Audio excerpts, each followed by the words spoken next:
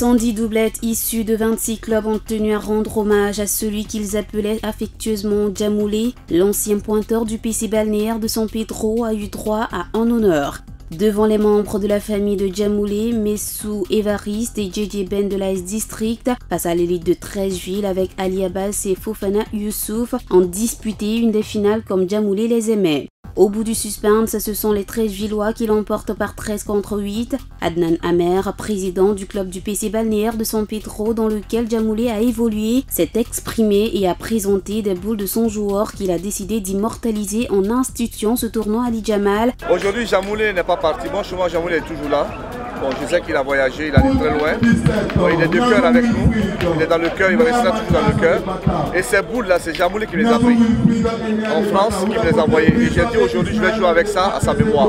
Jamoulé restera toujours parmi nous. Dans la prochaine édition aura lieu la saison prochaine à San Pedro avec une belle cagnotte à la clé.